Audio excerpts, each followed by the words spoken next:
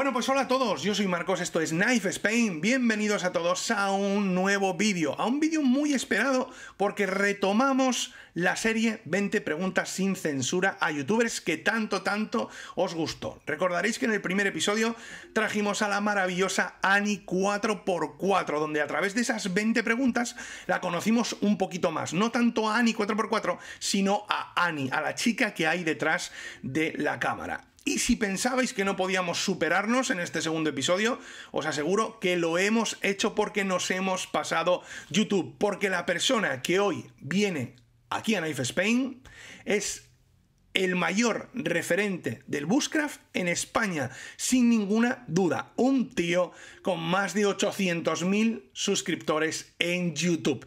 Y antes de dejaros con él, como siempre, tengo que recordaros al colaborador del canal, a Cuchillería Gómez de Pamplona, que ya sabéis que hacen envíos a cualquier parte del mundo. Ahora sí, hoy aquí en Knife Spain viene a divertirse Pablo de Vida Salvaje y Supervivencia.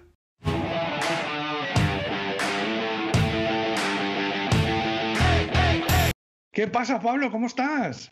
Pues con ganas, con ganas de, charlar aquí un ratito. Eso es, porque no es entrevista, es una charla entre dos amigos. Hay que decir que tú y yo no nos conocemos, hemos hablado una vez por Instagram, pero no nos conocemos, pero lo que pretendo también es eso, que el invitado, digamos así, o que la otra persona, eh, se sienta muy cómodo, como si estuviese hablando con un colega. Al contrario que con Ani, que sí que nos conocíamos, yo nunca, tú y yo nunca hemos hablado jamás. Entonces, bueno, quiero que te sientas cómodo y que te abras y que la gente conozca no al de vida salvaje y supervivencia, sino a Pablo. Un chaval que le gusta la naturaleza y que comparte lo que hace, ¿no? Así que, bueno, eh, tienes, no sé, tienes millones y millones y millones y millones de visitas. Tienes casi 800.000 suscriptores. Eres un, puto referente en el Bushcraft en España y en el mundo. Y a mí me surgen varias preguntas. Eh, ¿Dónde radica el éxito de tu canal?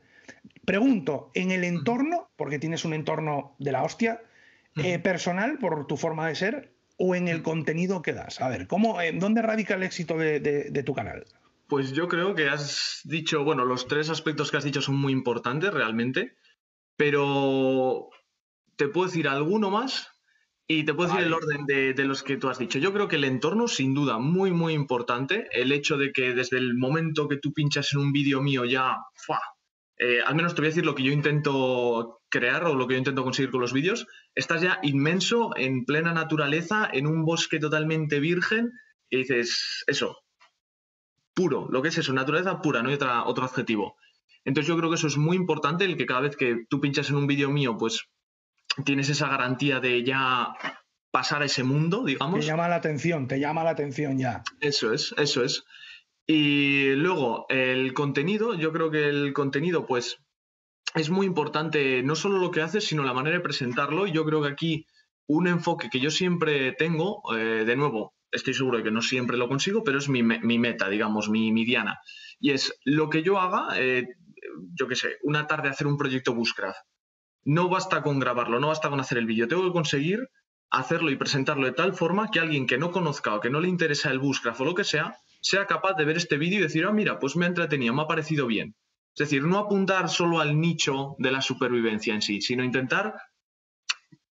Eh, captar, captar a alguien que no esté de ello, ¿no? Exactamente, y presentárselo de una forma en la que le resulte atractiva. Luego, el aspecto que has mencionado de la persona, yo creo que es importante, pero sinceramente, y os juro que no es falsa humildad, odio la falsa humildad, no creo realmente que sea muy importante en el éxito de mi canal. De hecho. Hombre, eres un tío guapete que te echan 35 teniendo 23 tienes, ¿no? ¿Cuántos años tienes? 23 eh, ahora mismo. 23. Andan las de 50 detrás de ti todas locas, creo. pero, o sea, eh, eso es, posible que también eh, sume más o menos, pero tampoco considero que sea un tío con mucho gancho, como otra gente que es muy dinámica a la hora de hablar, tiene así mucha personalidad y es capaz de transmitirla a la cámara. Entonces, si bien es un aspecto que importa y tampoco te voy a decir, Buah, lo hago fatal, qué pobrecito soy, no, yo creo que lo hago bien, pero tampoco es algo por lo que despunte. Y un aspecto muy importante que yo creo que me ha diferenciado pues de otros canales así de, la comunidad, digamos, es la constancia en el hecho de tienes que hacer buen contenido, es ya, eh, vamos a decirlo, un reto, pero tienes que hacerlo de forma constante. No vale hacer eh, dos vídeos este mes muy buenos, no subir nada hasta dentro de tres, eh, dentro de cuatro subir un vídeo cada semana, no, hay que darle y darle y darles a lo que YouTube le gusta y a fin de cuentas es lo que te va a hacer tener una, digamos, una flota de vídeos circulando por, por YouTube que va a ir atrayendo gente a tu canal. Así que bueno, ya me pones en el modo técnico de YouTube y me extiendo un montón, tío, porque soy un fricazo del tema. Pero... Vale, eres un fricazo de eso, pero cuéntanos eh, qué habilidades tienes que no sepamos los demás. Seguro que tienes algo por ahí que domines también eh, y que no eh, sepamos. Yo es que tengo un montón de, hobbies y habilidades. Cuando dices habilidades ya es como que... Algo que, se te dé muy bien. Bueno, puede ser que se te dé muy bien cantar, por ejemplo. Y no lo sepamos. Fíjate que por ahí no van los tiros. pues no sé, algo que mm, compartí últimamente en mi Instagram, bueno, creo que he mencionado otras veces, eh, se me da muy bien lo que es el tiro de aire comprimido, me gustaba mucho. Hay una pregunta sobre eso que te la cambiaré, pero vale, vale, sí, sí. Ah, vale, vale, vale. Eh, me gustan mucho los deportes y se me suelen dar bien, en plan de todo tipo, de todo tipo, eh, desde, yo qué sé, andar en bici. No, soy ningún crack en ninguno de estos, yo creo que lo mejor, digamos, mi faceta más habilidosa es esto del bushcraft y demás y la que, la que exploto, digamos. Pero yo qué sé, bola y playa, andar en bici, eh, cualquier tipo de deporte me chifla. y... se te da muy bien. No nada en concreto, pero lo que es el mundo del deporte sería tu habilidad, las habilidad, la, habilidad que más controlas, ¿no? Eso es, eso es. Vale. Oye, la gente estará viendo ahora fotos tuyas de pequeño, de niño. hay, un par, hay un par de ellas, creo, en Instagram que vi que me volvieron loco porque yo soy muy de, añorar cosas. ¿Qué, me ¿Qué me puedes contar del Pablo ese de niño que andaba por encima de los árboles? Pues no sé, lo primero y lo, he pensado algunas veces que lo fliparía, lo fliparía del Pablo de ahora, en plan de, de así como he dicho antes que no iba a ser humilde, eh, es posible que diga algunas cosas que son un poco pretenciosas, pero yo es que voy a ser sin filtros, no voy a intentar eso es, eso es, ni aparentar ser humilde ni tal, entonces... Tú tienes que ser tú. Lo que se ah. trata con estas charlas que, hago, yo tengo que ser yo para... Tú no me conocías mucho, pero, o sea, nunca habíamos hablado, pero yo tengo que ser yo pese a quien le pese, para que el invitado sea él también, porque si yo actúo, me lo vas a notar también. Exactamente. pues déjate llevar. Entonces, lo que tú has dicho. Entiendo que ese Pablo de niño se sorprendería muchísimo del Pablo mayor, ¿no? Sí, sinceramente, el Pablo de niño lo fliparía y tendría como ídolo al Pablo de ahora. En el oh. sentido de que, pues, eh, el mundillo este siempre le gustó mucho. El hecho de ya desde pequeño, yo lo de tener un trabajo así más normal siempre me había, me había mosqueado. En plan, estaba pensando, yo que sé, de pequeño, pues tenía mis fantasías de, ah, voy a ser motorista y así viajo y voy a carreras. Ya ves tú. ¿Sabes? Nunca me había hecho la idea de tener un trabajo normal. Entonces, haberlo conseguido conjugando con eso que es la naturaleza, que es ya desde crío, ya desde esas fotos ahí que habréis visto, pues le encantaba que el Pablo, yo creo que habrá sido una gozada. Porque hay que decir, tú vives de YouTube ahora mismo, ¿no? Sí, sí, sí, sí. Vale, luego, luego hablaremos más a fondo de eso. Oye, acabas de mencionar que te molaba mucho el aire comprimido. Sí. O sea, ¿llegaste a competir? Cuéntame más sobre eso. Estuve a punto, estuve a punto porque era muy joven, era menor de edad cuando aquello. Y bueno, yo vivo en el norte de España y aquí todos esos deportes así más minoritarios, pues es muy complicado porque raramente hay una masa de gente que lo practique suficiente para hacer competiciones y demás. Pero surgió un día una, tirada que llamaban una competición de Field Target, eh, que era la, la modalidad que me gustaba a mí, eh, relativamente cerca de casa, menos de una hora, pero claro, eh, al ser menor de edad necesitaba tener un tutor eh, acompañándome durante toda la tirada, que iban a ser varios días. Para que no te pusieses a dar tiros por ahí a lo loco, ¿no? Exactamente, o si los daba, pues que haya un responsable de esos tiros. y, y, recuerdo que pregunté a mis padres a ver si alguno me podía acompañar, pero claro, somos cuatro hermanos, no podía venirse un padre conmigo todo un fin de semana, pues para que yo pegara ahí mis tirillos. Hostia, qué bueno. ¿Y lo echas de menos? ¿Sigues practicando algo o no? Eh, sigo practicando de una manera mucho más casual, o sea, en aquel entonces te estoy hablando de que estaba en foros todo el día, tenía cientos de mensajes en foros, estaba, tenía, vamos, mi bandeja de suscripciones de YouTube era todo aire comprimido y sabía todos los modelos nuevos, ahora nada, tengo las carabinas que tenía entonces, disparo una vez. Te llevas, ¿No te llevas nada al monte? ¿De aire comprimido? Sí. Pues eso en el vídeo de este jueves, bueno, de este Ah, vale, jueves cuando está, estamos grabando la entrevista, podréis, podréis Vale, verlo. vale, vale, vale, vale, vale, vale, vale, hecho. O sea que sí te gusta, pero no lo practicas como antes. O sea, No, esa, no, no. ese- ese- esa afición que ¿y nunca llegaste a creer que podías vivir del aire comprimido. No, no, eso, vamos, eso ni me lo planteé. Bueno, tampoco me planteé vivir de YouTube cuando subía vídeos en esa misma época tampoco, pero no, vivir del aire comprimido, pff, no te digo ya en España, yo creo que a nivel mundial... Bueno, eh, pero ahí es deporte olímpico, ¿no? sí, el sí, pero la modalidad que a mí me gusta, no, o sea, la modalidad de 10 La de las metros. ferias, la de las ferias y los palillos. ¿Cuántos muñecos, cuántos muñecos sacaste a las, a las chicas del pueblo en las ferias? Más de una vez pasa, bueno, ahora ya no tanto, pero ahora es más picarte con, con tus amigos. Ah, con los de- colegas, vale. vale. Dentro del grupo, pues tengo la familia del que dispara y tal, y siempre venga a ver tú, pero Oye, eh, ¿no crees que los que vais de supervivientes sois unos putísimos empalmados? O sea, yo creo que sois muchos más frikis que los que coleccionamos navajas. Yo Pues creo, al- algunos, ¿eh? Algunos. Esto va a ser No, no, probablemente pero hombre, eh, un apocalipsis zombie. Vosotros supongo que os encantaría que hubiese un apocalipsis zombie o una movida de estas. ¿o A qué? ver, primero de todo, yo, yo creo que hablando así en términos generales, tienes razón y me meto dentro de esa generalidad de la que Yo- menciono. y, yo de los, y yo de los putos frikis empalmados coleccionistas. Y, y no sé, sí, sí, o sea, yo realmente fantaseo mucho con eso. Yo mm, con aquí en mi casa tengo mismamente, yo qué sé, comida para estar aquí un tiempo de la leche. Eso es de empalmados, eso es de muy Sí, sí. empalmados. Totalmente, totalmente. Me daba aquí para tres pandemias, por lo menos, y yo sin enterarme. Oye, ¿me has Pero pasado? no- Bueno, acaba, perdón, acaba, acaba, acaba. Yo creo que la clave de, de- no, hay, no hay ningún problema con ser un fricazo un tema, siempre y cuando uno es consciente de que es un fricazo de ese que tema. lo como, sea. como ambos acabamos de admitirlo, exactamente. Eso es. Yo no puedo ser aquí un fricazo de la supervivencia y pretender que todo el mundo lo sea y considerar esto la norma. Y no, tío, no puedes ir al monte Sin tu cuchillo así, sin tal, sin- hay que ir preparado, por supuesto, y todo. Y no, no, no. O sea, a mí me gusta hacerlo, lo disfruto, pero eh, yo entiendo que es mi, mi tarita, si queremos decirlo así, ya está. Porque hay mucha gente que recita muchos mantras en plan, tiene que ser esto, esto, esto, y eso no va así. En No, ninguna afición, no, yo creo, ¿no? No, no, no. Yo creo que hay ese, ese sentido del, del tan purista, eh, elitista dentro de la, de la disciplina en cualquier tipo de hobby o afición. Aquí en, cuando hablo con amigos y demás solemos decir los rambos. Pero, pero Los Rambos, yo lo primero, cuando hay gente que me pregunta, ay, ¿de qué es tu canal? Yo lo primero que digo, digo, mira, es un canal en el que salgo yo afilando palos en el monte. Es lo que digo Y siempre. ya, y ya está. Y digo, creo que es la descripción más fiel a la realidad. Antes de entrar, mira, hago bushcraft, hago técnicas de supervivencia. No, mira, afilo Con- palos en el monte, tío. Con una sierra que mide dos metros. que el vídeo de la sierra lo petaste con el vídeo de la sierra. Sí, sí, sí, fue muy bien, la verdad. Uno, Oye, uno de los mejores hits. ¿Fue regalada? Sí, sí, sí, sí, sí. Claro, claro. Esa, de hecho, bueno. Y amortizada. Han tenido que vender muchas, ¿eh?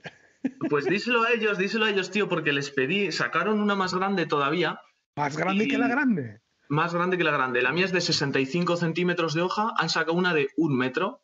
Y, y Sí. te han dicho que no había triunfado tu vídeo, ¿no? No, no, me dijeron que sí, te la enviamos, pero te la dejamos a mitad de precio. Y ahora seguro Oh. que la gente que es de fuera de YouTube voy a sonar como malcriado y, Oh, ah, mira, que quiere oh. que se lo regalen. Pero literalmente, o sea, si sumas todas las visitas que han tenido los vídeos que les he hecho, han sido, lo único que he recibido de la marca ha sido la sierra pequeña y la sierra grande, que no suman más de 300 euros. Pues si sumas las visitas que han tenido los vídeos sobre sus productos, es que vamos, Es una, es una miles y locura. miles de, de euros. Hay Y- gente que no lo entiende que la publicidad cuesta dinero. Y Por tú le has supuesto, dado una publicidad supuesto. al vídeo de la Sierra Gigante Sí, sí. enorme. O sea que Mm. está muy bien y yo te entiendo perfectamente. Puede ser que te Mm. entienda porque también eh, estoy en esto, ¿no? Pero tienes Mm. toda la razón. O sea, pero ¿qué me estás contando? Si lo Sí, han petado sí. esos vídeos. O sea, ¿no has vendido suficiente? Pues a otra cosa. Si es que esto es Claro, así. sí, sí. Así que bueno, de ahora en adelante esas sierras se van a ver muy poquito y muy de lejos en el canal. Pero No es que, van a ver- pero es que es así. Es así. Sí, es así. sí. Pero bueno, hay gente, sobre todo aquí en España, yo creo que no tiene esa visión, esa mentalidad. De hecho, cuando hablaba con distribuidores de la marca eh, de, Europa y de América, estaban como indignados de cómo me estás diciendo que dinosaurios, dijo el de América, esos dinosaurios del Sí, marketing. Sí, sí. Y yo dije, pues es la realidad que tenemos aquí, en España. pasa eso, que con Mm. muchas marcas no entienden que es publicidad. Da igual el canal, hombre, obviamente hay que valorar muchísimo los suscriptores que uno tenga, o dónde puedas llegar, pero que a ti se te haya cuestionado, o sea, me acabas de dejar loco. Porque no, no, yo me igual. ¿Qué tienes? ¿70 millones de reproducciones todos los vídeos o más? No tengo ni idea, los millones de reproducciones son los Pero ese vídeo tiene muchísimas reproducciones. Ese vídeo tiene más de un millón. Y si sumas todos los en los que la, sierra, digamos, es la protagonista, en cierto modo, más de, o sea, varios millones de visitas. Ahora llévate una radial. una, una, motosierra, ya, sin tontería. Habla con Usbarna, joder. igual lo que, está, lo que estaba pensando en ese sentido era comprarme una tronzadora de las clásicas de dos personas, restaurarla y tirar con eso, ya le. Más Bushcraft todavía y sin seguir haciendo publicidad gratis. efectivamente, es que es eso también, joder. Oye, estamos hablando de los suscriptores que tienes, casi 800.000. Mm. Espero que llegues al millón muy pronto. Eh, estamos hablando de las reproducciones.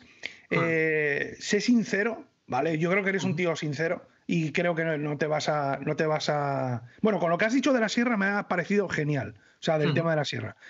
¿Qué dos canales crees que tienen mucha calidad en España o que te puedan llegar a hacer sombra en un futuro? Dos, tienes que decirme dos, que hagan lo tuyo. Bueno, lo tuyo. que toquen tema búsqueda. ¿Qué dos canales dirías, oye, me mola?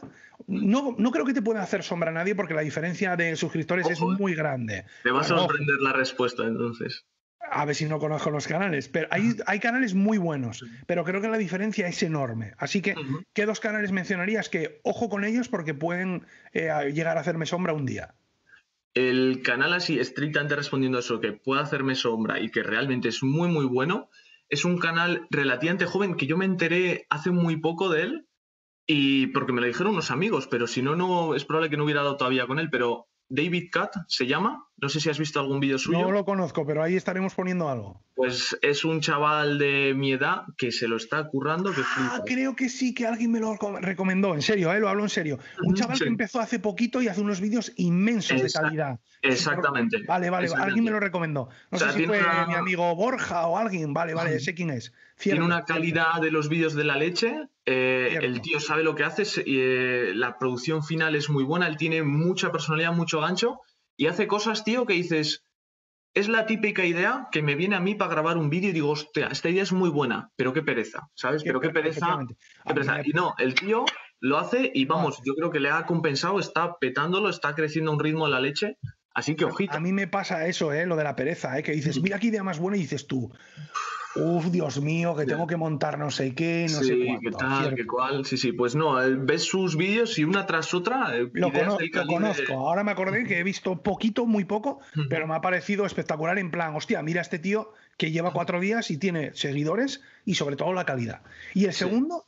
El segundo, yo creo que estrictamente respondiendo eso, hacer sombra en cuanto a son cifras, en cuanto a cifras en YouTube, pues probablemente no, porque él tiene un enfoque de la plataforma totalmente diferente. Pero en cuanto a vídeos de una calidad de la leche, para mí, lo he dicho mil veces, Andrés de Aves en Naturaleza, soy su fan número uno. O sea, tiene una producción muy buena. O sea, igual no llega al nivel este de David Cat, que es una currada, pero vamos, tiene unos vídeos que muy bien montados. Y el tío es que es un máquina, es que es un máquina en todo lo que es bushcraft, montañismo, supervivencia, es que es un crack, tío. Es un crack. posiblemente, esto no lo sepas porque no he hablado contigo y hay muy poca gente que lo sepa, pero Andrés creo que haya sido el primer canal que me suscribí hmm. cuando hacía trampas para conejos, que tenía granos él allí en una finquita allí en casa. O sea, pero cuando yo empecé en esto, dije, pero ¿y este crío? Y te hacía gracia, obviamente. Ahora se ha convertido en un maqui con melena y todo eso, pero, pero hostia, eh, Andrés, y muchas veces hablamos, cuando, cuando empecé con este proyecto, muchas veces hemos hablado de quién es bueno, quién no, ya no quién es bueno, quién, quién hace cosas guays, ¿no? Y hmm. Andrés siempre sale y todo el mundo dice, es que Andrés empezó de pequeñito, lo mamaba desde pequeño y Andrés mola mucho. Es que Andrés... Es que lo vive, lo vive. Andrés es que lo vive y es que lo vive desde, desde muy pequeñito. Y hacía vídeos con una cámara de, mierda, con respeto, ¿no? Una cámara de mierda. Empezó desde lo más pequeño, tanto en el búsqueda como en la grabación, y ahora se ha convertido en que la diferencia entre tú y él en suscriptores es una locura porque es muy grande. Pero, Pero vamos, yo me arrodillo ante él en cualquier momento. Debe ser de los, o sea, de los auténticos. Es, es- es la, Es la palabra, es la palabra, auténtico. Lo que define a Andrés en, en este aspecto es auténtico. Ahí sí que hay cero. O sea, una entrevista a Andrés, que desde aquí le invito, pero una entrevista a Andrés sería todo. ¿Hay postureo en tus vídeos? No, no hay. Hay no sé qué. No hay. Él es 100% lo que se ve, yo creo, porque lo lleva haciendo, lo lleva haciendo toda, toda la vida, ¿no? Así es. Oye, ¿algún producto que has hecho una review y te hayas arrepentido? En plan, luego, madre mía.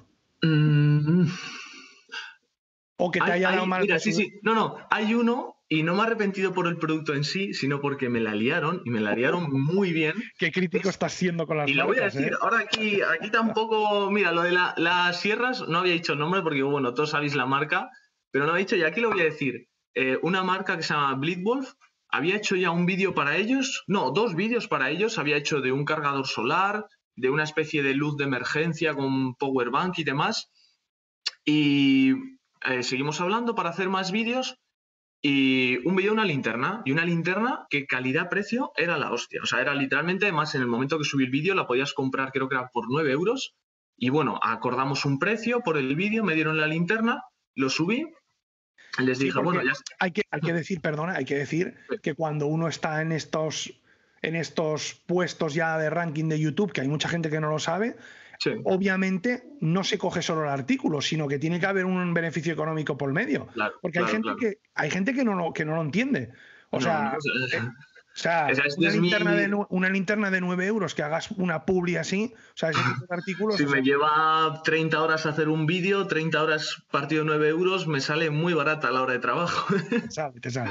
y eso Yo- contando que a fin de cuentas el producto no es dinero. Yo no pago las facturas aquí del alquiler con, con linternas, ¿sabes? Claro. ¿Y qué te, y qué te pasó? A ver. Y publico el vídeo, les digo, bueno, aquí lo tenéis, este es el enlace, espero que os guste. Eh, nada, y esta es mi cuenta para que me hagáis el ingreso. De repente me dicen, ¿qué ingreso? Y yo, Oh, no, no, no. Oh. Y nada, no hubo manera. Después de haber hecho ya dos vídeos anteriores, también pagados sin ningún problema, eh, que no había visto la parte del mensaje en la que mencionaba el precio. Y dices, a ver, no me la cuentes, tío, no me quieres pagar y ya está. Y no me pagaron, y a día de hoy no me pagaron. Todavía lo tengo apuntado, tengo una carpeta de estas carpetas que tienes en el escritorio con cosas que se llama Bleedwolf y el precio que me deben. Y digo, cada vez que enciendo el ordenador lo veo y digo, no me olvido, no me olvido. Y el día que tenga oportunidad os la voy a cobrar. Así que Pero- esa me arrepiento y tócate los huevos porque que sí, que sí. eh, yo, a mí a las 12 horas de publicar el vídeo yo ya dije, vale, no te van a pagar. Pero es que realmente la linterna era buena y tenía buen precio.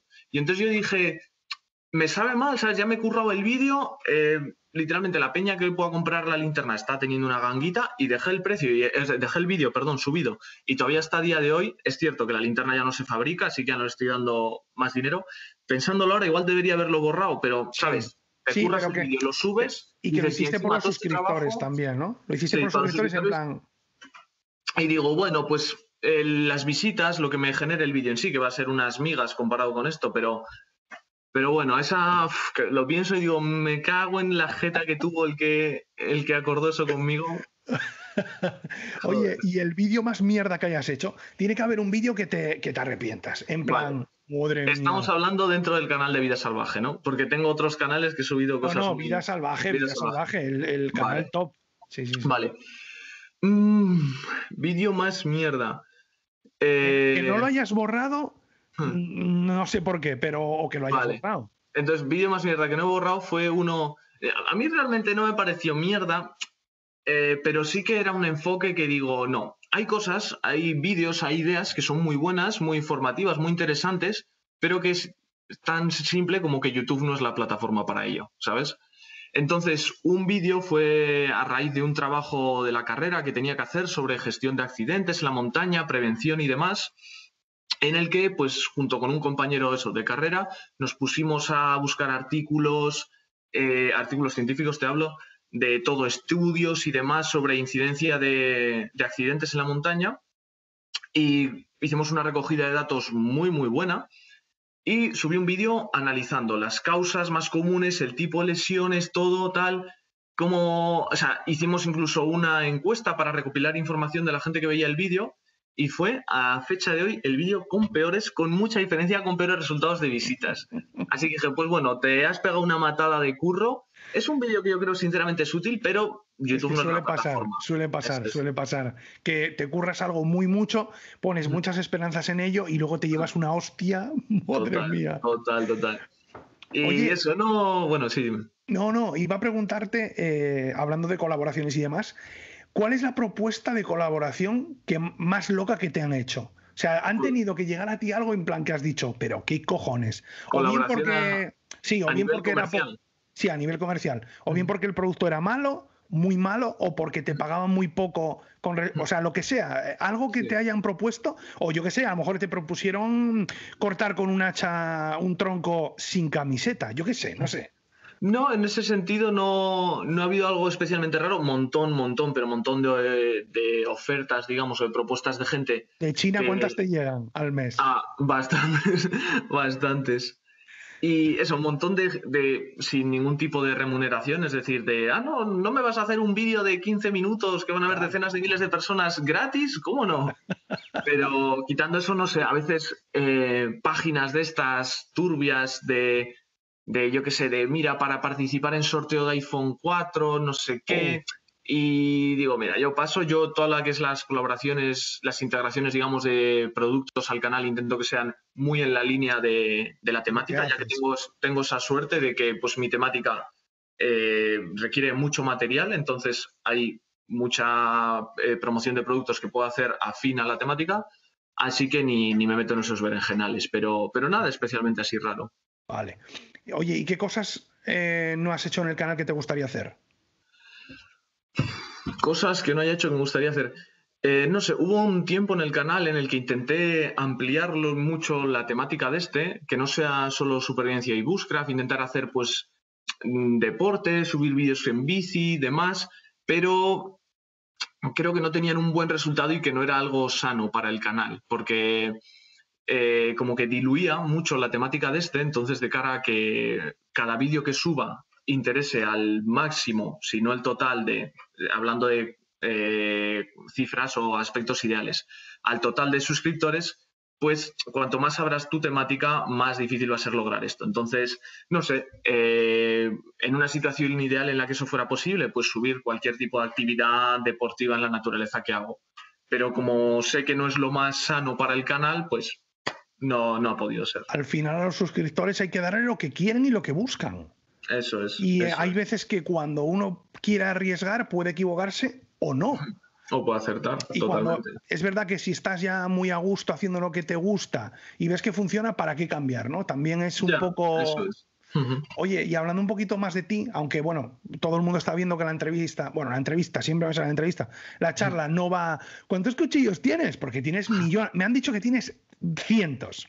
Entonces, hablando un poquito más de ti y dejando de lado ahora mismo el tema ese, eh, no sé, en los vídeos yo no sé si te vemos parado, si no, si te ah. vemos como un poco serio. Entonces me gustaría preguntarte, ¿te gusta la fiesta? ¿Te gusta el salseíto hasta el marzo del 2020? Eh, cuéntame, por ejemplo, yo qué sé, tu última borrachera. ¿Eres de los que cantas, de los que bebes? Cuéntame algo. ¿Cómo, es Pablo de fiesta con él? ¿Merece la pena ir con él o no? Cuando tenía 19 años, eh, creo que fue... Madre mía, hace cuatro, hace cuatro, cuando tenías 19 hace cuatro. El día siguiente de cumplir años es la gran fiesta, aquí dos días después de mi cumple es la gran fiesta en mi pueblo. Y yo dije, mira, este va a ser el... O sea, ya no voy a ver más. Voy a beber mañana y ya no voy a ver más. Si te sale una sonrisilla así como de que hubiese, o sea, de como si hubiese sido muy loco, ¿eh? No, mira, esa en concreto fue loca, pero me refiero, a lo que te quería decir es eso, que llevo cuatro años en los que no he bebido nada más que una vez, o sea, no me he emborrachado nada más que una vez y fue porque perdí una apuesta. Y es que te contaría una anécdota súper interesante de esa, pero yo el problema era que cuando bebía me iba a casa prontísimo, tío. O sea, la mayoría de las veces yo creo que no llegaba ni la una de la, de la madrugada y ya estaba en plan de, guau, guau, mira, yo me quiero coger cama aquí y a correr. Pero, pero bueno, tampoco es que me guste especialmente la fiesta. Eso era, eso era para no pagar las rondas. Cuando te tocaba pagar, te ibas a casa, qué cabrón. A escaquear. Nada, nada, o sea, es lo que digo, tampoco he sido mucho, mucho de fiesta, de discotecas, nada, cero en absoluto. En plan, a mí me gusta tener mi espacio, estar en, yo qué sé, rollo botellón así, aire libre, abierto, con gente, tranquilo, eso sí. O en un bar, pero en un bar, esos sentaditos, con unos dardos, unos futbolines. Eh, en ese sentido, sí, yo muy. Con una carabina de aire comprimido, lo típico. Por ejemplo, las, aquí las barracas de, las ferias, pues hombre, eso también. Porque la gente no sé si sabe muy bien de dónde eres. Tú eres de Cantabria, ¿no? Eso es. ¿En qué zona más o menos, Pablo? Pues el, el, este total, ya casi frontera con el País Vasco. Ah, sí, eres ahí pegadito a los, los vascos. Sí, de hecho, bueno, tendré expresiones o parte del acento que mucha gente me dice, oh, ¿cómo se nota que eres de Bilbao? No sé qué, nada, es de Bilbao. Digo, oh, habrá influencia, pero. Los de Bilbao pueden nacer donde quieran, ¿no es así? es verdad. eso dicen, eso dicen. Oye, hablando de fiestas, de amigos, hmm. eh, tus amigos son muy importantes, yo creo que en el canal. Hmm. Tanto la gente que te ayuda a construir el refugio, que creo que son tus amigos del pueblo, como tres personajes, porque son tres personajes muy auténticos que salen en tus vídeos. Entonces, defíneme un poquito a ese grupo de amigos que te ayudan a hacer el refugio y luego quiero que me pues definas a Andrés, a John y a Aitor, que son, yo creo que forman parte de tu canal y que mucha gente les ha cogido cariño. Sobre todo yo creo que al que más, como no, Andrés. Pero bueno, hmm. defíneme un poco tus, tus amigos con una hmm. sola palabra, ¿no? Eh, pues mi grupo de amigos va a sonar súper cursi, pero literalmente yo creo que lo que le definiría es suerte. O sea, yo muy a menudo caigo en la reflexión de, hostia, qué suerte tengo, tío, de tener este grupo de amigos con esta actitud, con esta personalidad, con esta esa atmósfera que tiene el grupo en sí. Suerte, no hay otra, otra forma de decirlo. Eso es el grupo. Y luego los tres eh, jinetes del apocalipsis, Andrés, yo y Aitor. Pues Andrés, te diría auténtico, pero ya me lo has quitado tú antes, así que voy a decir yo que sé, admiración. John, John está bien porque es, un tío muy dinámico, sobre todo lo que es el grupillo este de, que tenemos en el norte, de survivaleros del norte que llamamos. Él es el que está siempre ahí, oye, tenemos que quedar. El que os, da caña, ¿no? El que os da caña y el que os mueve. Eso es, muy dinámico. Y Aitor, no sé si fue a raíz de la, ruta que hicimos el año pasado en Pirineos, pero mm, supongo que no, sería el consciente de esto y yo no se lo dije y voy a aprovechar ahora aquí para decirlo. Pero, tío, me daba paz. O sea, literalmente, en los momentos jodidos de la ruta, que estás con el ánimo por el suelo, que hace un tiempo de mierda, estás hasta los cojones de llevar toda la mochila. Y yo, sobre todo, que suelo ser el más flojo en cuanto a fondo del grupo, me empezaba a quedar atrás. Siempre veías que él estaba atento, se veía que te quedabas atrás, se quedaba así esperándote un, trato hacia ti, no sé, hablar con él ahí, estabas en la mierda, te reconfortaba, ¿sabes? Entonces me daba esa paz. Y ahora suena super cursi también, pero te juro que es pero bien. Pero, pero, fíjate, uno te da paz, otro te da caña, y Andrés, ¿qué te da aparte de que es un tío auténtico? O sea, ¿qué da Andrés? Inspiración, inspiración, yo creo. Claro, porque el cabrón se las sabe todas. Exactamente, o sea, es que es, es, crees que eres bueno, en plan, Buah, pues ya empiezo a tener una experiencia con peso, empiezo a saber cositas, nada, estás uno o dos días con Andrés y dices, no tengo ni idea de nada, no tengo ni idea de nada, soy un novato. Te recomienda peines, champús, es un chaval majísimo. Oye, ¿cuál es el capricho más caro que te has comprado? Pero en plan, pa, o sea, que te hayas gastado relacionado con... Pues bueno, relacionado o no. A lo mejor te has comprado un coche, yo qué sé. Cuéntame. Relacionado con esto muy poco, muy poco. Es que soy muy poco de caprichos. Porque, te regalan cosas, porque te regalan cosas. En, cierto modo es así, en cierto modo es así, pero... Esa linterna que alumbraba el mundo... sí. O sea, es que eso fue la hostia. Sí, sí, eso fue el Eso sí que es un, eso es un capricho caro, porque dime tú para qué quieres una linterna así. Totalmente. Pero el vídeo, el vídeo fue, o sea, el vídeo es que yo creo que hasta tú estabas flipando con esa linterna. Sí, sí, no, una bañada. Así, entonces, en lo que es la temática, el capricho, que es que no es realmente un capricho, y vamos si lo amortizado. El hacha que tengo, el hacha Force, ese tan bonito, así tradicional, me lo compré y eso para mí fue un capricho el decir, venga, va, me lo compro. vale? Se puede saber, más o menos. Pues ¿eh? yo lo compré por 120 euros, pero ahora están más caros. Ahora creo que es difícil encontrarlo por menos de 160. Claro, claro, le ha hecho vídeo el de el, Pablo, le ha hecho vídeo el Pablo de YouTube. déjate, que, eso... no pase, ¿eh? A veces pasan esas cosas. Con, otros canales u otras temáticas sí, pero en ese sentido tampoco creo yo que tenga la magnitud todavía para, para eso. Y luego fuera del mundillo, porque eso ya me dirás tú que, chorrada de capricho, una hacha que he rentabilizado más que sobra, pues me compré ahora año y medio una furgoneta que era algo que había querido hacer siempre, eh, comprar una furgoneta, camperizarla y tal, y en proceso estoy de ello, pero bueno, como los que seguís la serie El Refugio ya sabréis, yo voy a mi ritmo, muy poco a muy poco, todavía ando ahí, pero sí, eso, fue una furgoneta, me dejé todos los ahorros y, pero muy contento. Oye, y hablando del refugio, ¿crees que está saliendo todo como querías al principio? ¿O hay algún fallete? O sea, igual, si, si va un señor de estos mayores de los de obra y se pone ahí a mirar ese refugio, ¿qué diría? Bueno, el señor de obra, vamos, tendría para todo el día, para darnos caña todo el día, eso desde luego. Ahora bien, mis pretensiones iniciales en ningún momento eran lograr la capacidad de satisfacer la crítica a un señor así, porque no creo ser capaz. Pero, pero lo que es el refugio en sí han sido una serie de altibajos de decir, Buah, esto no tiene futuro, a decir, Buah, está quedando de maravilla, a volver, esto no hay quien saque nada de provecho de él. O sea, es un altibajo continuo. Los vídeos lo petan, ¿eh? Los vídeos lo petan, la gente es la serie más regular en cuanto a éxito. La gente está ahí como si fuese el Hospital Zendal de Madrid, igual. Todos ahí atentos a ver qué pasa con él, si se acaba o no, ¿no? Total, total, tío. Pero, pero sí, ahora mismo estoy en la zona del pico alto, llevo ya un tiempo ahí desde que empezamos con el tejado y demás. Va a llevar mucho, mucho trabajo porque es que realmente no hay manera en la que pueda transmitir esto, pero al ver los vídeos ni remotamente te puedes hacer idea del trabajo que lleva. Claro, me lo imagino. O sea, ves el último episodio en el que hacemos un cuarto, eh, un poquito más de un cuarto, un tercio del tejado, menos que no llega a un tercio. Y parece que nada, que han sido cuatro jornadas y ha sido una matada de, desde por la mañana hasta por la noche sin parar, nada más que 20 minutos a comer al mediodía y pensar en casa y bueno, bueno. O sea, ¿Para, ¿Para cuándo tenéis previsto acabarlo, más o menos? Yo me dije antes de que termine el año, pero no quiero. No Ha habido, tú échale la culpa al COVID. Hubo COVID, tal, no sé qué. Claro, totalmente. Si yo, si no, ya estaría, vamos, estaría en marzo de 2020 listo. Oye, eh, ¿Noche de sexo o noche en el bosque? ¿Qué prefieres más? ¿Buena compañía con tu chica? Yo no te he preguntado por pareja si tienes o no tienes, eso ya, pero una buena noche de sexo, cena, sexo, tal, no sé qué, o, o, aventura en el bosque con tus colegas. Cuidado, ¿eh? Que si tienes eh, pareja, igual cuando la veas, igual te tira de hostia. Yo le preguntaste esto a Ani pero se lo preguntaste de una manera más sencilla. Le dijiste lo de noche de sexo o noche en el bosque. Y yo cuando estaba viendo vuestra charla dije, coño, dile, ¿y por qué no las dos a la vez, sabes? Claro. Pero ahora aquí ya me has puesto el plan de con los colegas y mis colegas me caen de maravilla y he hecho que es una suerte, pero lo que es deseo sexual hacia ellos todavía no. Así que... vale, vale, vale. Así que puestos a elegir, uff, eh, es muy buena pregunta. Porque puedo preguntarte, ¿tienes pareja? ¿Puedo preguntarte? Sí, actualmente tengo pareja.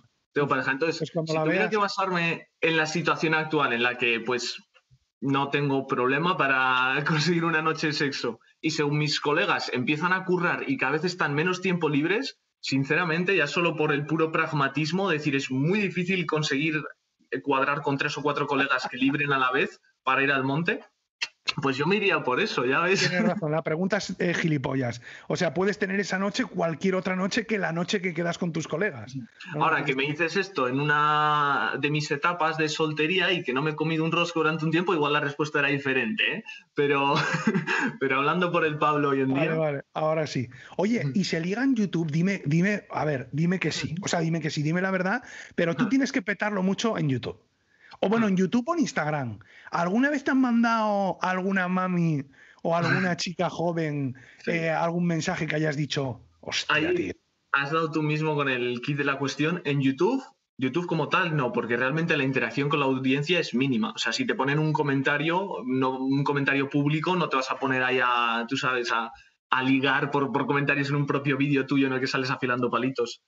Y, mm, entonces. Sacándole, sacándole punta. Mola más que sacándole punta. todo, todo el movimiento es, por Instagram y sí, sí. O sea. Sí, que, sí, sí que. Que es relativamente frecuente los mensajes o así de que te sigan y te hablen y veas unas intenciones claras de. Pues... A ver, no valen los típicos mensajes que te salta de tienes a Irina no sé qué cerca de no, ti. Eso no vale. Yo digo uno real. conocerte. no, no, sí, sí. Uno real, sí. ¿Y puedes contar alguno que te haya sorprendido? ¿Alguno que te acuerdes en plan... ¿Esta quería que le enseñase a, o quería afilar mi palito? pues es que ahora no, no, me, no puedo pensar en uno concreto, pero estoy seguro que los ha habido buenos y a veces le, los comento con amigos de, ¡buah, flipáis lo que me han dicho! En una de las últimas fotos... Y tus colegas, y tus colegas, pásame, pásame, pásame. El contacto aquí, nada, hay, que portarse. Dios, lo tienen privado, mierda. hay que portarse. Pero en, una de las últimas fotos, no fue, no fue una chica, fue, fue un tío. Uh. Y, y me puso, ¿cómo era? Eh, o fue una, fue una de las historias, no me acuerdo, que puse la historia como con un corzo en el, promocionando el vídeo del arco y puso como quién fuera corzo para que me cazases o algo así. Y no sé, esa buena, una buena, pero te, aseguro que las ha habido mejores y me jode no acordarme de ninguna ahora. Las hay algunas que dices, mira, es que sinceramente ya solo por el valor de comedia de lo que has escrito... Es que te doy, te doy una cita. ¿Quién fuera corzo para que me cazases? Me vuelve loco. Madre mía. Oye, eh, mueves mucho material. O sea, navaja, o sea, cuchillos, hachas, sierras. Eh, ¿Alguna vez alguien te ha dejado algo eh, y te has quedado con ello? En plan, pues te jodes y no te lo devuelvo. en ese sentido, no, al menos que no me acuerde, espero que no. Pero algo que me da un poco vergüenza, pero te voy a confesar aquí, de todo el material que yo uso para mis vídeos actualmente, mío, lo que es mío, el material de grabación o edición y demás, es el trípode. Ya. ¿Y de quién es? ¿No sabemos de quién es?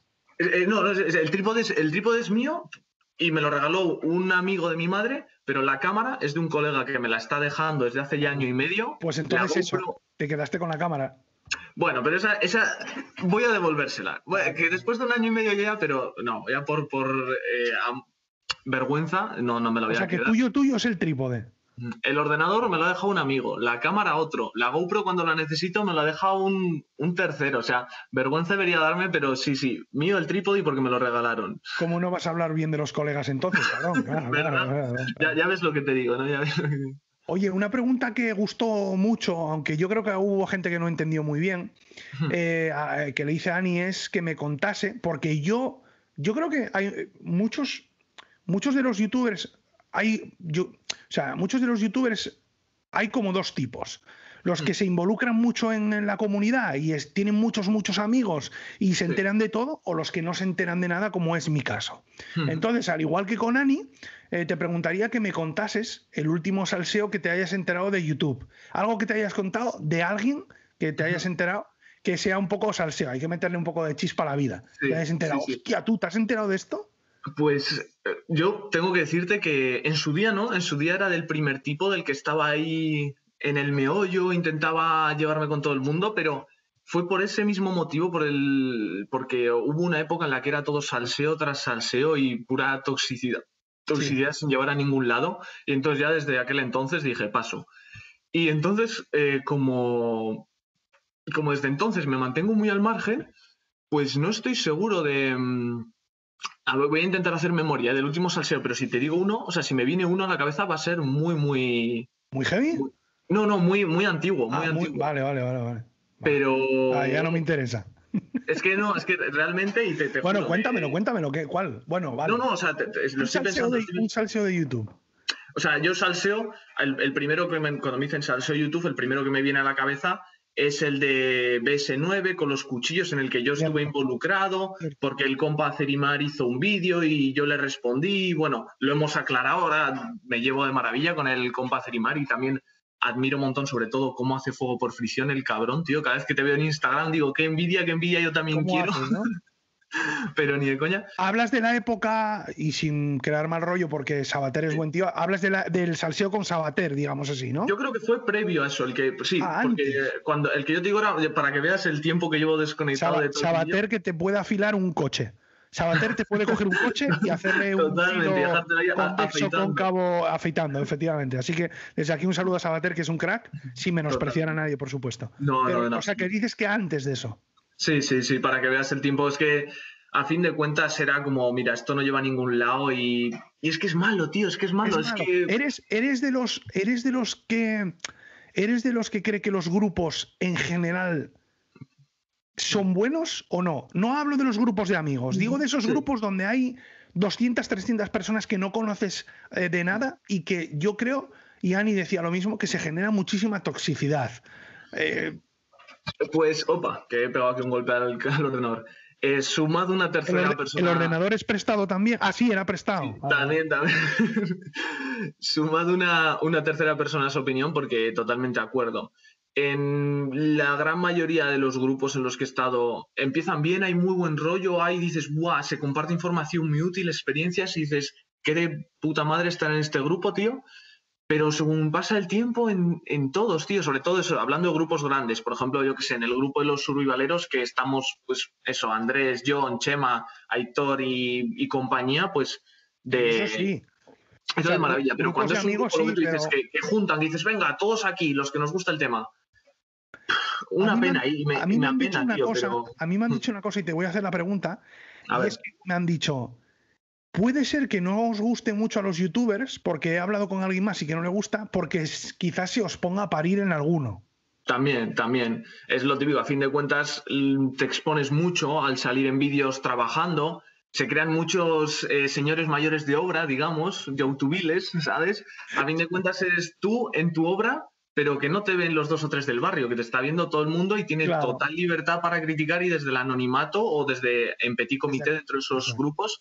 Entonces, a mí sinceramente me la trae floja. Yo lo que digan, me da igual, pero era la, al menos en los grupos en los que yo he estado, cómo se derivaban los temas a otras cosas, pues lo de siempre, política, además, uh, y, entras ahí y empiezas a ver pues panfletos de propaganda política. Y, yo, yo venía aquí pues para hablar de, mochilas, ¿sabes? Sí, no, de, Oye, ¿y tienes muchos haters? Yo, yo no me creo que Pablo tenga haters. Muchos, yo creo que no. Yo creo que no, para lo que es el tamaño del canal. A verlos, por supuesto que sí, por supuesto. Y, desde, desde tiempo atrás. ¿Y algún comentario que te acuerdes que te hayan puesto a parir? A lo loco. Bueno, porque la gente pone a parir muchas veces por nada. O algún comentario que te haya herido en plan, uy, lo que me ha dicho este. Que estés en mm. la cama así, Dios, es que estoy por cagarme en, todo, no. contestarle cagándome en todo. ¿Te acuerdas de alguno? Mm, no, sobre todo, o sea, es que eso es cuando me afectaban un mínimo, que tampoco era gran cosa, pero vamos, no, ni afectaban, vamos a decir, cuando los tenía en cuenta, eran muy, muy en, mi primer año o así. Y tampoco te sabría decir uno en concreto, pero, pero sí había algunos eso que me daban ganas de responder y no sé qué, pero digo, mira, la mejor respuesta ha sido no responder, seguir currando y digo, si alguna de esas gentes mantiene su, su rabia hacia mí, Dios sabe por qué, pero la tiene, digo, ya me jodería, ya me jodería estar en su pellejo. Eso es, es que has dicho algo muy importante y es que la gente te coge rabia, tío, es increíble.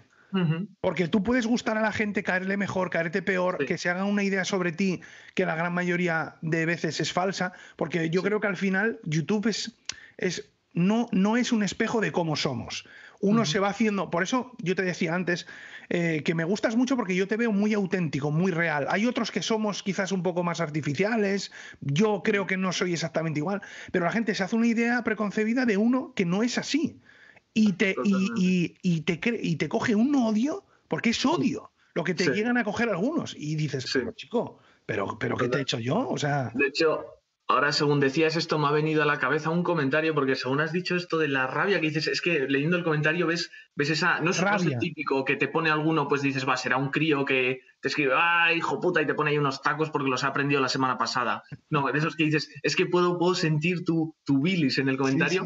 pues fue uno en, en uno de los vídeos de Pirineos, en el que me puso, no, no te lo sé decir porque fue hace mucho tiempo y estos comentarios son los leo, los elimino y a correr pero era en plan de como, guau, tío, eres un narcisista, uh. todas las tomas ahí sin camiseta, no sé qué, es que eres un flipao, tal. Y yo, bueno, pues, o sea, además en el vídeo de Pirineos, que son vídeos de 30 o 40 minutos, en los que yo personalmente aparezco en uno o dos minutos de, de este vídeo, porque soy yo el que graba, entonces casi nunca salgo. Y digo, coño, o sea, vaya, vaya aquí, ¿cómo, cómo habrá hilado este hombre para sacar esas conclusiones? la gente hila mucho, pero se equivoca en la gran mayoría de las Digo, pues no sé si igual sale a partir de complejos que tenga la persona o envidia de, hostia, qué ruta se ha dado este cabrón y yo estoy aquí encerrado en mi casa, voy a criticarle. O no sé, no sé. No a mí me lo dicen mucho amiguetes que tengo, que mucha gente, que hay mucha envidia en YouTube. Yo no creo que sea tanta envidia, sino que hay gente, tío, que, que, que que, lo, que se pueda escudar detrás de un nick, eso es lo peor. Habla hmm. muchas veces del DNI electrónico o del hmm. DNI de Internet y debería de hacerse, tío. Tú tienes que comentar con tu nombre y apellidos, porque hmm. si fuese así, no dirías las barbaridades que dices muchas veces. Yo estoy totalmente de acuerdo en eso, pero ya, ya a mí el hecho de ser consciente de esta realidad hace que para mí sea, sea más light, ¿sabes? Y era lo que, lo que decías, lo mejor es borrar o no contestar, porque es en plan, ¿para qué le voy a contestar si no me lo lee siquiera? Eso te insultan, te critican y todo, lo ves. Si es un comentario muy exagerado, pues hasta me hace gracia. Y luego le echo a pensar, es que, es que no me lo dirías a la cara, ¿sabes? Es que, es que tengo la certeza de que no me lo dirías a la cara. Pues es como, ah, vale, pues te da el alivio, ¿sabes? De ya está, pues como sé que no me lo dirías a la cara, me da igual, lo borro y ya está. Lo borras y ya está. El otro día a mí me llamaron gay, que me hizo muchísima gracia. No, a mí... en, tono despectivo. Sí, no, pues, pues ahí ya se retrata el solo encima, ¿sabes? Ahí ya se retrata el solo. Claro. Oye, teniendo la oportunidad de hacer un cuchillo para tu canal, que creo que no lo has hecho, ¿no? No, es un proyecto que llevo pensando desde hace mucho, pero, pero todavía no, no había manera de crearlo. ¿y, qué fabricante elegirías? O sea, si fuese pues, hoy, si hoy te hmm. dicen tienes que firmar aquí, elige un fabricante, hay hmm. que mojarse. Aquí. Pues eh, vale, me voy a mojar, me voy a mojar. Me gustaría que fuera un fabricante nacional, porque creemos, o sea, porque creo que tenemos una industria cuchillera de la hostia e infravalorada en, en lo que es España me voy a mojar todavía más y por culpa de las propias marcas cuchilleras, porque eh, mm, muchas veces, bueno, muchas veces cuando el canal era joven, muchas veces me han hablado a mí, otras veces cuando el canal era joven yo mismo les escribía a ellos para proponerles reviews y no había manera de sacarles filos. O sea, y literalmente si cobraba X a una marca extranjera, a marcas españolas les daba un cuarto de ese precio, o sea, se lo hacía una rebaja del no 75% y no había manera. Entonces, si bien me jode que estén tan infravaloradas las marcas españolas, va a sonar que estoy aquí eh, tirando, o sea, barriendo hacia mí para, porque a mí me interesa esto, pero realmente en cierto modo creo que es eh, culpa suya. Em, ¿Cómo me enrollo, tío? Me gustaría que fuera una marca, atentamente. una marca española y si me tengo que mojar, me gustaría que fuera Joker porque eh, considero que la calidad-precio es más interesante que la, el resto de marcas españolas. Igual con JV peleados en el puro sentido de calidad-precio. ¿eh? No digo que sean mejores, de hecho, pues yo qué sé. Eh, o sea, es que ahí el resto de marcas tienen productos de la misma calidad, incluso algunos aceros en los que pueden crear esa diferencia, destacar, yo que sé, el Muela en RWL34, eso pues de los mejores cuchillos en España. El Kodiak, ese que tienen, el Kodiak.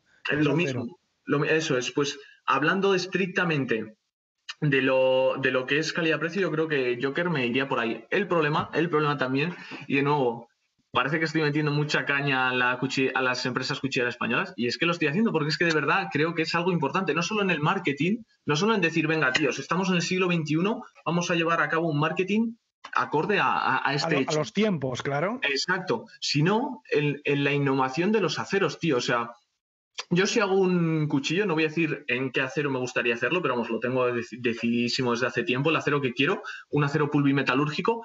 Y aquí en España, eh, quitando esos ejemplos como el que vamos a decir de muela, es impensable el traer estos materiales, esta innovación, es siempre como...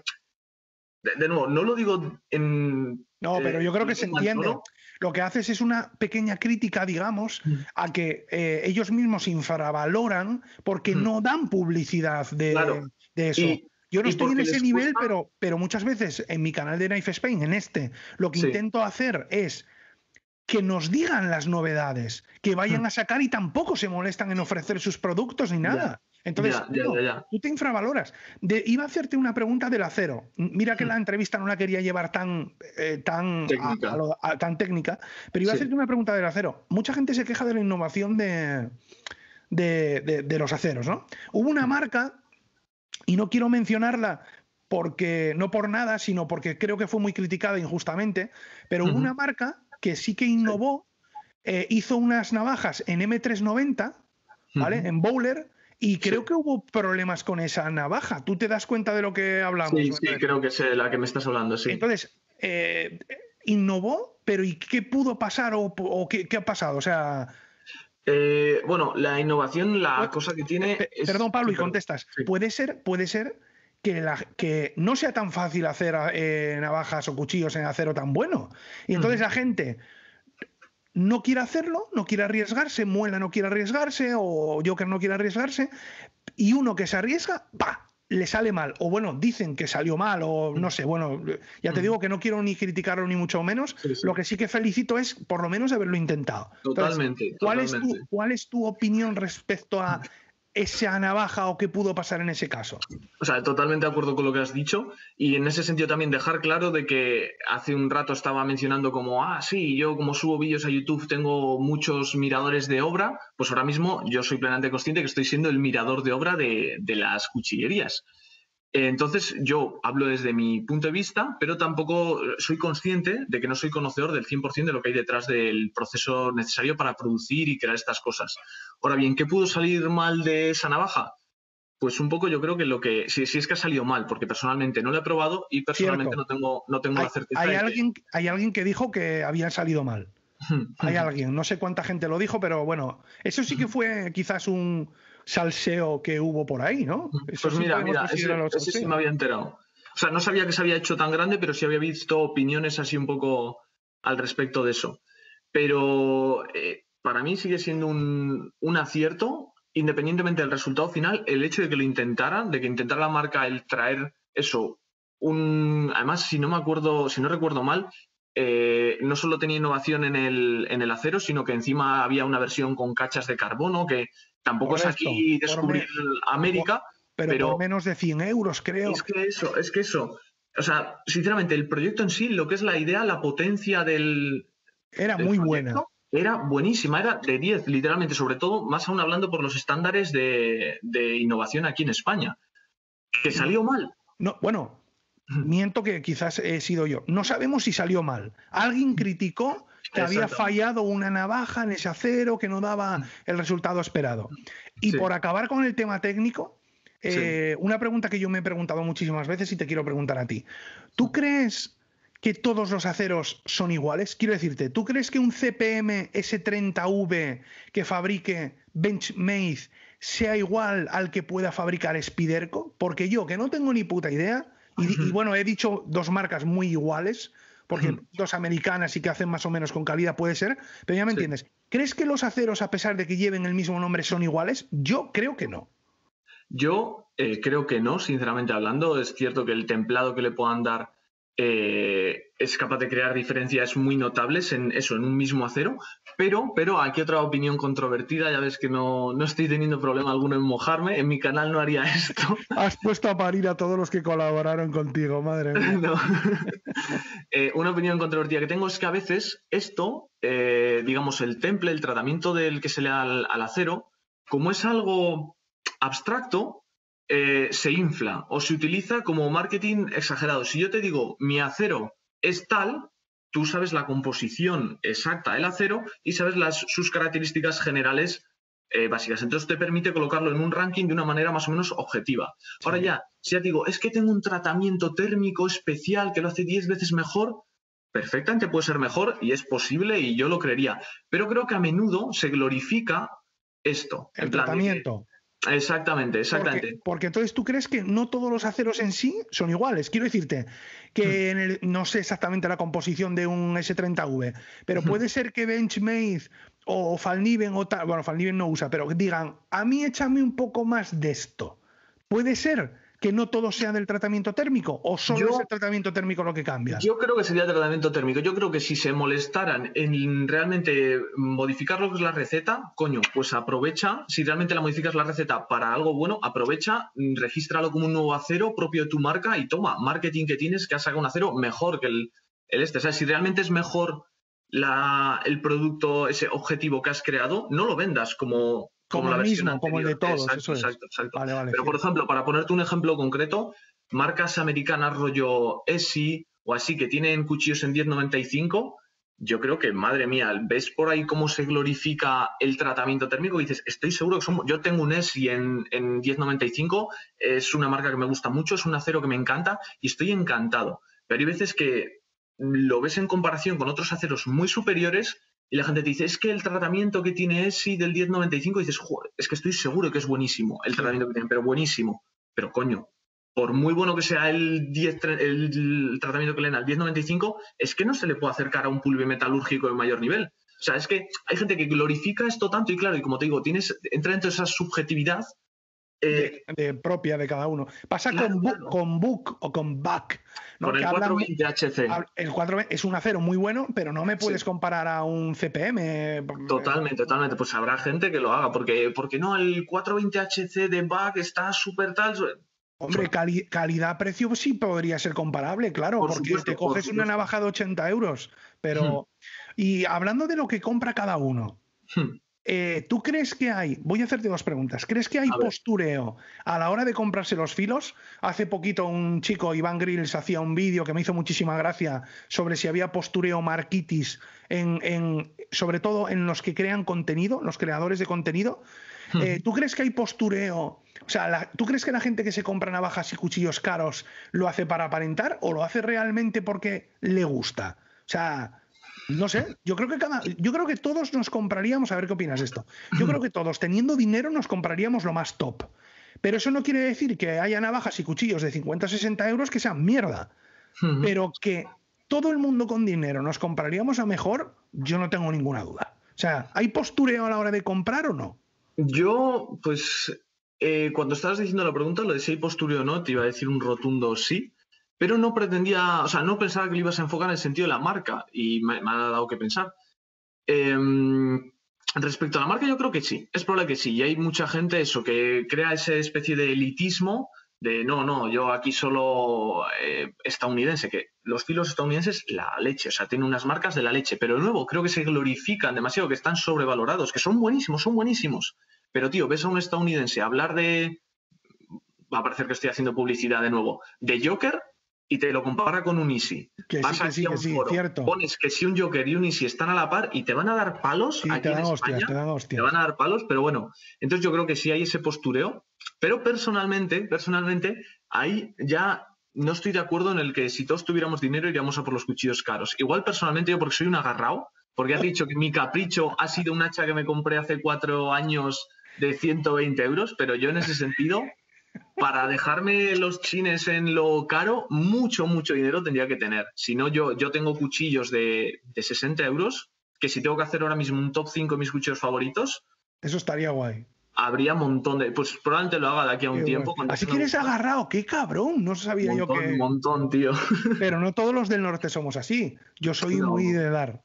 No, o sea, yo, a ver, bueno, tampoco te decir aquí, voy, soy aquí el Robin Hood. Para mí soy de dar, soy muy de dar, soy muy de pero, ah, no, yo, al revés, yo para mí sí que, si tengo que hacer una compra... ¿Qué es lo último que has regalado? Venga, va.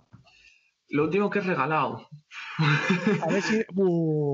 Nos remontamos eh, a antes de la anécdota de, de, de, BS9. No, no. O sea, es que no sé en qué sentido regalar. En cualquier, en cualquier. ¿Qué has regalado? ¿Qué, lo último que has regalado pues yo que sé, eh, fue el cumple de, mi novia. Vale, y le has hecho un regalo. pero eso es que si no lo haces. Es que por eso te iba a decir eso, pues obviamente vas a hacer un regalo. Pues no sé, eh, entonces.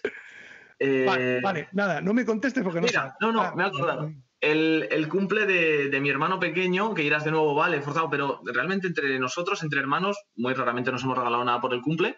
Y tócate los le compré una sierra de la marca Maldita. porque sé que está empezando y yo realmente, por mucha tirria que le haya cogido ahora a la parte de marketing de la marca, yo objetivamente soy sincero. Son buenas sierras. Es una marca con un rendimiento a la hostia en cuanto al producto, pues le compré una sierra de esas. Oye, y tú, bueno, si no te importa, ¿qué edades tienen tus hermanos? Pues tengo uno un año mayor, una hermana tres años menor y un hermano siete años menor. ¿Y qué dicen de ti? O sea, ¿cómo, ah, eh, hay alguno que dice, mira este puto friki? Hay tu hermano pequeño dice, madre mía, mi hermano es Pablo de vida salvaje y supervivencia, lo cuenta en el cole. O sea, ¿qué opinan tus hermanos de ti en ese aspecto? Pues mi hermano pequeño realmente tampoco es, le gusta el Bushcraft y yo creo que ve mis vídeos, no te voy a decir que se ve todos, pero sí mantiene un ojo, le, eso, pues le regalé la sierra por lo mismo, porque estaba empezando a interesarse y tal, pero tampoco es ningún tipo así de admiración Luego mi hermana, yo creo que pues también sigue un poquito lo que hago por ¿A arriba. Cuántas, a, cuántas amigas de tu hermana les gusta Pablo? Eso pregúntala a ella, porque hasta el día de hoy no me he enterado de una. Uy, lo dudo. Y, y luego mi hermano mayor es, es, muy gracioso porque yo el tema de, de, que me dedico a esto y que tengo el canal, no dejo ni quiero que defina mi personalidad, ¿sabes? Yo conozco gente que es como, hola, soy Rigoberto y, y, te he contado que soy youtuber y que tengo tantos seguidores y qué tal. Es como, no, tío, yo vivo de esto, pero ni de lejos define mi personalidad. Entonces, casi que al contrario, intento no ocultarlo, pero tampoco eso, evitar el que salga el tema al que me dedico a esto. Y mi hermano mayor es casi al contrario, estamos conociendo a alguien nuevo y es como, wow, wow sabes que tiene un canal, wow, mira, mira, no sé qué, tal, y me hace gracia. Me eso gracia. pasa, eso suele pasar, eso, todo el mundo tiene amigos, o, o, en mi caso amigos, en tu caso hermano, que les gusta mucho lo de, este es youtuber, es youtuber, sí. Y ahora imagínate, este, que tiene navajas, navajas, hacen así, hacen...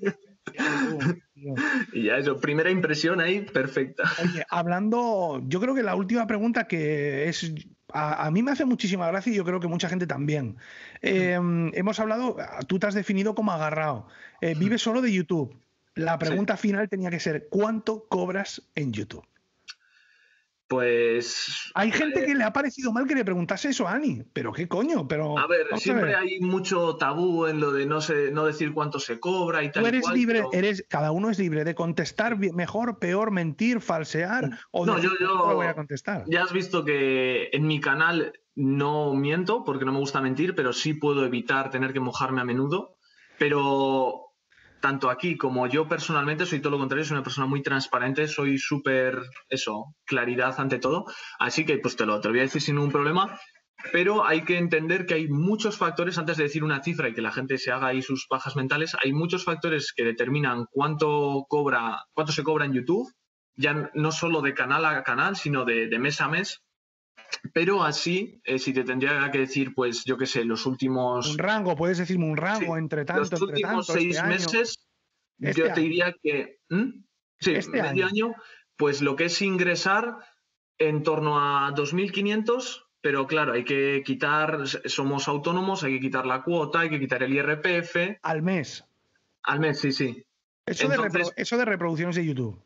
No, no, no, no, ojalá, ojalá. Ah, de todo, de Eso, todo. YouTube. ¿Qué poco te paga YouTube? ¿Qué poco te paga YouTube? Trabajas de marca, sí, sí, joder, ya podía ser 2.500. Ah, el global, el global sobre 2.500 al mes. Eso, eso es todo lo que yo ingreso. Eh, eso, eh, trabajando exclusivamente de no esto. todos los meses son los mismos, o sea, Eso iguales, es. eso es. Hay meses que das un pelotazo, hay meses en los que, por ejemplo, pues el último mes que con se el te cheta, y el se, arco... te cheta un, se te cheta un no, vídeo. A mí, por ejemplo, se le chataron los vídeos aquellos de que no hablaba, que salía mm. allí sola eh, comiendo. Sí. Esos vídeos le generaron muchísimo dinero. Claro, Entonces, claro. un mes te comes los mocos y otro mes lo petas y eres el dios de YouTube. Totalmente. Que pasa igual, obviamente.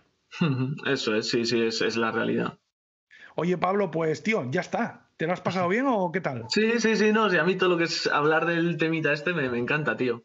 Hemos hablado de muchos temas. Desde aquí te doy eh, las gracias porque creo que has entrado a todo.